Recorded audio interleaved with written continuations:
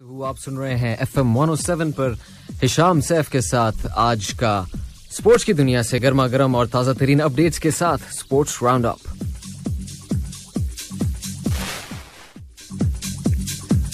आज बताऊँगा मैं आपको कि कैसे कतर गोल्ड मेडल्स जीतने का सिलसिला अभी भी बरकरार रखे हुए है। इसके साथ साथ बात करेंगे फीफा अरब कप 2021 की और बार्सिलोना के लायनल मेसी के जाने के बाद के हालात की। और सबसे बढ़ के India versus Pakistan cricket match की। शुरुआत करते हैं one of the most awaited events जिसका पूरे मुल्क को बेसब्री से है इंतज़ार। जी हाँ बात हो रही है फीफा अरब कप 2021 की। इससे पहले आपको इस टूर्नामेंट की टीम्स के बारे में बताया जाए इनसे इंट्रोड्यूस कराया जाए, आपको बताता चलूँ कि ये पहला साल है जिसमें अरब कप को फीफा के अंडर मुनद किया जा रहा है। ये अरब कप का टेंथ एडिशन होगा, लेकिन फीफा की ब्रांडिंग के साथ पहली मरतबा खेला जाएगा। इस इवेंट में अरब दुनिया से तेईस टीम्स मध्य मुकाबल होंगी, जिनमें Algeria, Bahrain, Egypt, Iraq, Lebanon, Morocco, Oman, फलस्तीन, Qatar, सऊदी अरब और सूडान समेत दीगर टीम्स खेलेंगी। ये मैचेस 30 नवंबर से शुरू होंगे और 18 दिसंबर तक जारी रहेंगे, जिनकी, इनमें से सारे मैचेस की तादाद है 32 यानी 32 मैच खेले जाएँगे और खास नोट करने की बात यह है कि इस फीफा अरब कप 2021 का फाइनल कतर के कौमी दिन, यानी 18 दिसंबर को खेला जाएगा, जिसके ठीक एक साल के बाद लुसेल स्टेडियम में फीफा 2022 वर्ल्ड कप का फाइनल मैच भी खेला जाना है। फुटबॉल की दुनिया के सबसे बड़े इवेंट की तैयारी और जुनून और जज्बे में एक और इजाफा है फीफा अरब कप 2021 जिसकी टिकट्स के ऑनलाइन पोर्टल्स अब बंद हो चुके हैं। और अब है सिर्फ़ चंद दिनों का इंतज़ार कि फैंस अपनी पसंदीदा टीम्स को स्टेडियम्स में अपना लोहा मनवाते हुए देखेंगे। ओलंपिक्स 2020 का अख्ताम तो हो चुका, लेकिन कतर में गोल्ड मेडल जीतने का सिलसिला अभी भी जारी है। जिया मोताज बारशम और फारिस अलबाख के टोक्यो ओलंपिक्स में गोल्ड मेडल्स लाने के बाद अब कतर की जूनियर टेबल टेनिस टीम्स ने अम्मान में होने वाले अरब टेबल टेनिस चैंपियनशिप में दो गोल्ड मेडल्स अपने नाम किए हैं। अंडर 13 की टीम ने 3-0 से इजिप्ट को और अंडर 11 की टीम ने 3-0 से ही टूनीजिया की टीम को हराकर गोल्ड मेडल्स वसूल किए। इसके साथ ही कतर नेशनल मेंस टीम ने सेमीफाइनल्स में जॉर्डन के खिलाफ खेल के ब्रॉन्ज मेडल्स अपने नाम किए।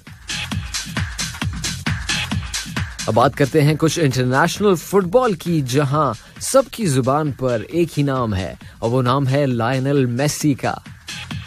एफसी बार्सिलोना के all time top top goal scorer 21 साल में जिन्होंने छह गोल स्कोर किए, अब कतरी ओन्ड पीएसजी यानी पेरिस सेंट जर्मन के साथ शामिल हो चुके हैं। मेसी के चले जाने के बाद बार्सिलोना ने अपनी पहली नॉन मेसी या पोस्ट मेसी गेम में उनकी कमी का एहसास इस तरह नहीं होने दिया कि French football league La Liga के अफ्ताही मैच में मुखालिफ रियल सोसाइडाड को चार दो से शिकस्त दे दी। जरार पीके ने खेल के 19वें मिनट में बीस हज़ार फैंस के सामने गोल करके अपनी टीम को लीड दी। उनके अलावा मार्टिन ब्रेथवेट ने दो और सरगी रोबर्टो ने एक गोल स्कोर किया। लालीगा के नए सीज़न के अब तक 10 मैचेस खेले जा चुके हैं, जिसके बाद अब तक की रैंकिंग्स के मुताबिक रियल मैड्रिड पहले सविया दूसरे और बार्सिलोना की टीम तीसरे नंबर पर है। बार्सिलोना की टीम अपना अगला मैच खेलेगी एथलेटिक क्लब के खिलाफ 21 अगस्त को और रियल मैड्रिड खेलेगी 22 अगस्त को लेवांटे के खिलाफ, जबकि सेविया की टीम जिस वक्त दूसरे नंबर पर है, अपना अगला मैच 23 अगस्त को गिटाफे के खिलाफ खेलेगी।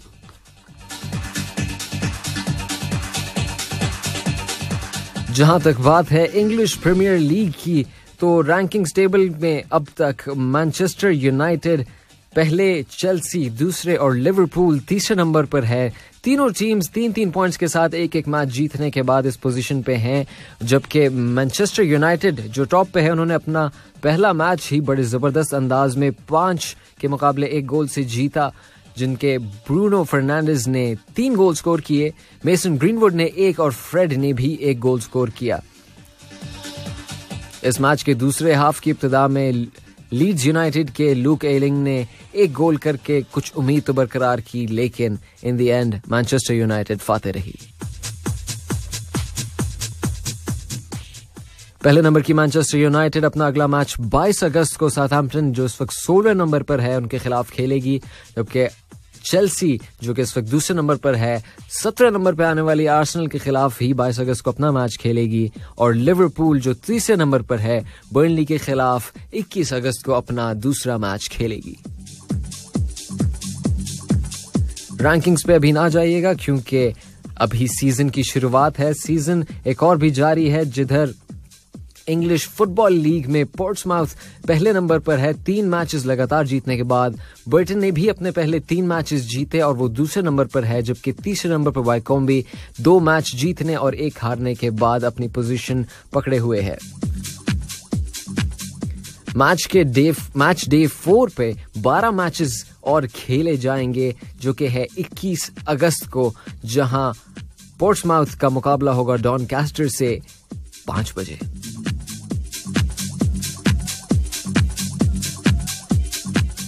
अब चलते हैं क्रिकेट की दुनिया में, जहाँ टी ट्वेंटी वर्ल्ड कप की टीम्स के ग्रुप्स का ऐलान हो चुका है।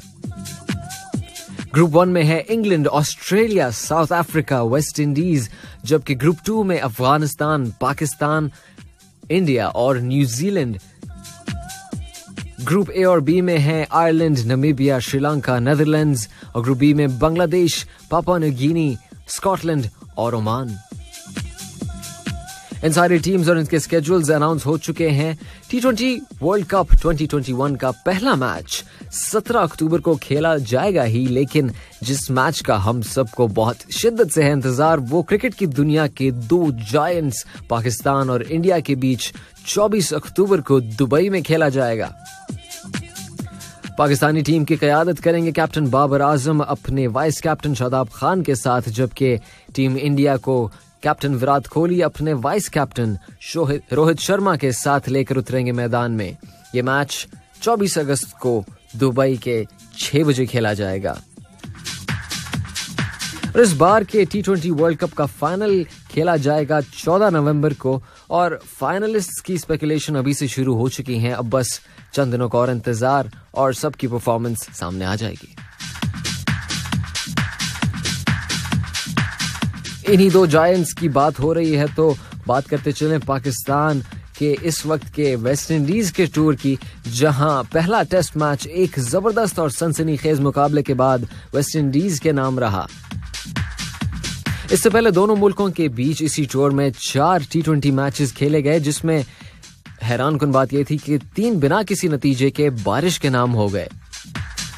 और एक मैच पाकिस्तान ने सात रन से जीता। Pakistan tour of West Indies का आखिरी मैच 20 अगस्त को खेला जाएगा। दो टेस्ट मैचेस का ये दूसरा टेस्ट मैच कौन अपने नाम करता है? मैक्सिमम 24 अगस्त तक पता चल जाएगा। दूसरी जानब, भारत की टीम इस वक्त इंग्लैंड के दौरे पर है और इस टूर पे अब तक वो इंग्लैंड के खिलाफ दो टेस्ट मैचेस खेल चुकी है। इंग्लैंड और इंडिया का पहला टेस्ट मैच किसी रिज़ल्ट के बगैर खत्म हुआ, यानी कि मैच ड्रॉ हुआ, जबकि दूसरा टेस्ट मैच इंडिया की टीम ने बहुत उम्दा परफॉर्मेंस के बाद एक सौ इक्यानवे रन से अपने, एक सौ इक्यावन रन से जीत लिया।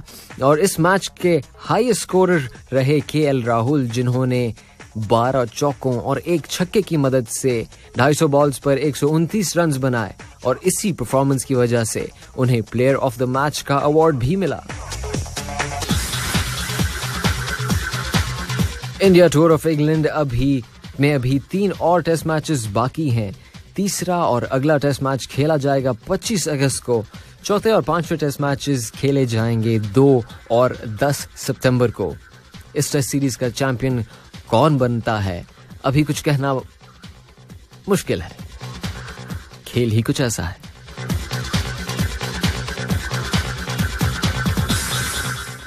ये थी अब तक की स्पोर्ट्स राउंड अप की ताज़ा तरीन अपडेट्स, जहाँ हमने आपको बताया कि कैसे कतर ने गोल्ड मेडल्स जीतने का सिलसिला जारी रखा, कैसे अरब फीफा कप 2021 की एक्साइटमेंट्स बरकरार हैं, कैसे बार्सिलोना की परफॉर्मेंस रही लानल मेसी के जाने के बाद, और सबसे बढ़ के ऑब्वियसली इंडिया वर्सेस पाकिस्तान के क्रिकेट मैच की।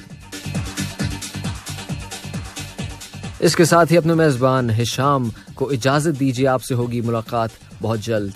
अल्लाह ने के बाद।